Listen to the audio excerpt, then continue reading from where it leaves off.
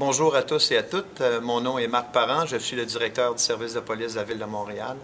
Alors, euh, en termes de lecture, pour la jeunesse, je vous recommande l'auteur euh, Robert Muchamore, qui écrit en fait toute la série des livres sur les chérubes et aussi Anderson's Boys. Alors, c'est une très belle série qui est vraiment excitante, vivante, dynamique, avec un brin d'humour et euh, c'est euh, une série, en fait, qui a été euh, amenée dans la maison, chez nous, dans la famille, par ma conjointe, auprès de mes garçons, dont un plus particulièrement qui maintenant a peine à aller se coucher tellement qu'il en est captivé.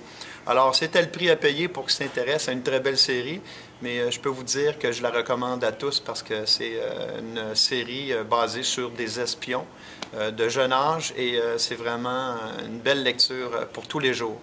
Merci à tous.